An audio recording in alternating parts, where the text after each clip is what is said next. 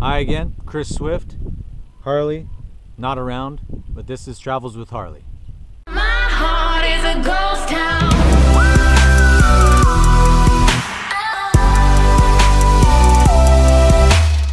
It's a bummer I couldn't bring Harley today, but it's just me out in the field practicing with the Karma drone. I couldn't bring Harley because the, the family's out. The wife and the kids are off doing their thing. Harley, she doesn't have her she doesn't have her third round of parvo shots yet. So I'm out here in nature. If she knew, she would be super jealous. Get ready to watch some cool aerial footage of the ranch where Harley's going to be doing all of her hunting training. She'll be doing a retriever training as well as her on commands from the blind, sit, stay, come, all that. Stay tuned for more. And check out the property. Let's get it.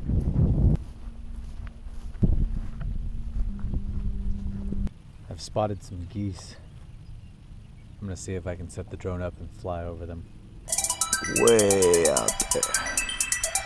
I'm gonna fly the drone straight at him. We'll see what happens.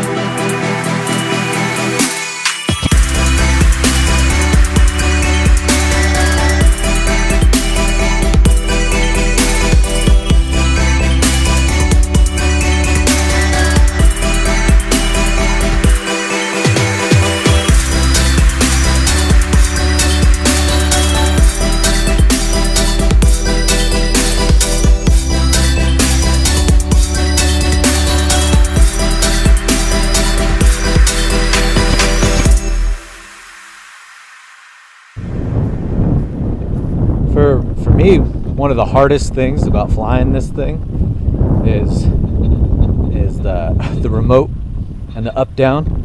You probably saw in the last video where I crashed it, and that was because I was pushing down on the joystick, thinking that that would go up.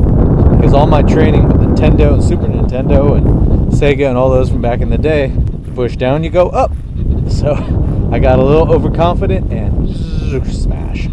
Luckily, the thing is built really well and no damage was done whatsoever. But other than that, I it's the simplest damn thing that I've ever flown. Of course, the quality of the video is unbelievable. I am having a weird problem with the gimbal and I had this problem before the crash too. Sometimes when it powers up on the, the grip and also on the drone now, it starts tilted. So I have to restart it and then it reorients itself. I don't know what that's about. I'll look it up. Some, I'm sure somebody else has had the same experience. But, ooh, I think I'll film here. What do you know? There were some geese on this pond. They saw me coming. So they flew before I got a chance to fire it up. But there might still be something out there. So we're to fly over and see.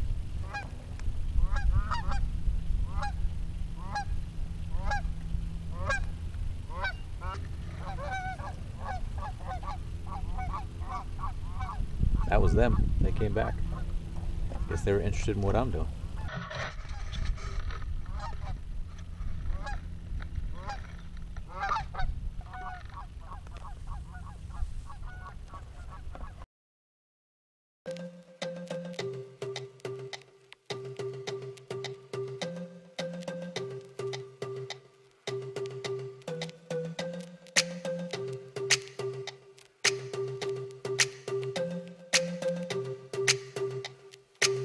One incredibly cool feature about this thing, so far it hasn't screwed up, is that when it gets to about two, three minutes uh, battery life, it comes back to you automatically. You don't have a choice. And right now it's centering up above me to the where it launched from on GPS. It's gonna. I'm looking slowly coming down to me, which is pretty cool. To move, obviously, but to me, that's one of the really cool features about this thing. Ensuring that you don't drop it in the water because you're you're too aggressive filming. And down she comes. Safe and sound. Turns off. Uh oh. Yeah, that's what you get for landing in tall grass. Thank you, Karma. I just got to a new field, and I think that there might be some ducks on the water here. So I'm trying to be sneaky and a little quiet. I'm charging everything back up. I'm getting ready to fly.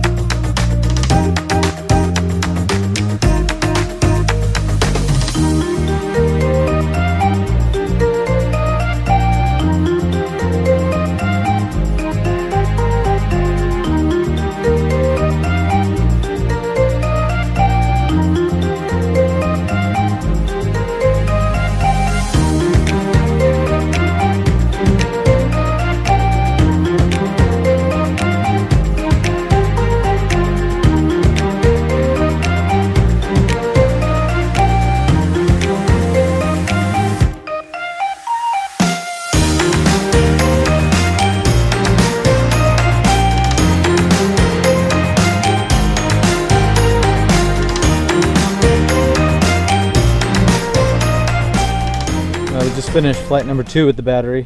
So my only, I guess my only real issue, real complaint about this, about the drone, the Karma, uh, is battery life. It says 25 minutes, but really you're looking at like 15 at best. I landed, the battery life on the remote said I had about five minutes left. By the time I landed, it was uh, like four and a half. And then I saw something else I wanted to record, and so I tried to take off again, and the remote said no battery, the battery's too low for takeoff. So, so I don't. The accuracy of minutes, not entirely accurate. I would say, you probably expect that you're only going to get 15 minutes of solid flying. So plan your shots. Have an extra battery, and I have two, but you know when you're out in the field like this so that's the solution. It- have a portable battery charger on the wall on a regular home socket. It seems to take to get a full charge on the battery seems to take about a minute per minute of flight time. So it took about 20 minutes to charge a battery. And when you're out in the middle of nowhere it's kind of a pain in the ass. I'm headed back to the little house right now. My charge charge up both batteries and then try to get some more flight time in. Hopefully, we're back in the air soon. Okay, battery charger is going. I'm already on two bars. Now we wait.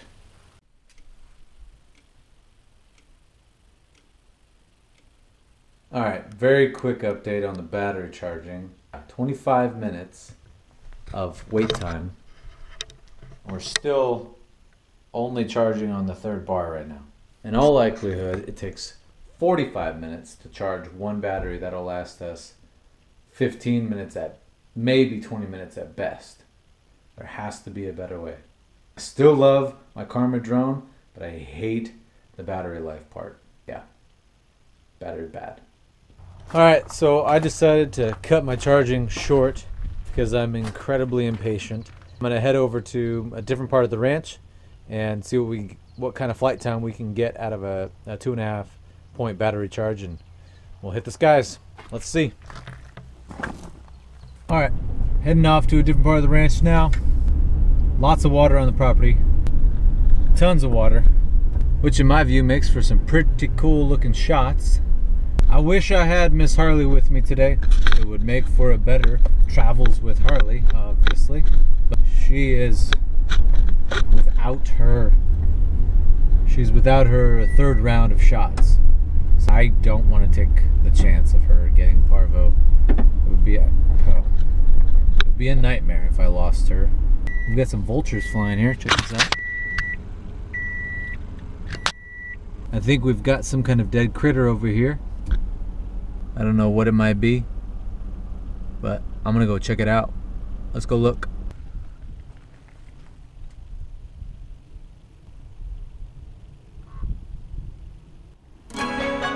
Changed my mind. I'm gonna try to fly the drone with these things. Let's see how that works out.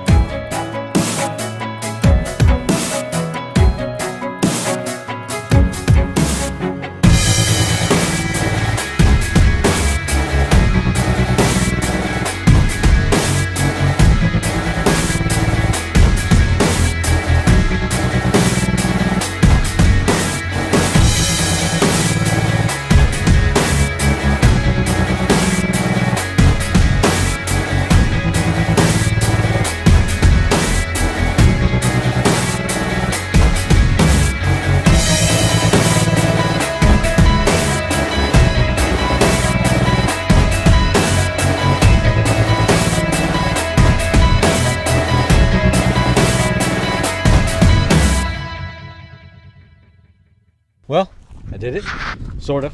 Flew with the, the vultures. One of them kind of dive bombed in a couple times, but because of the such wide angle of the GoPro, it, it didn't look that close, but it was pretty close. Maybe I'll zoom in a little bit.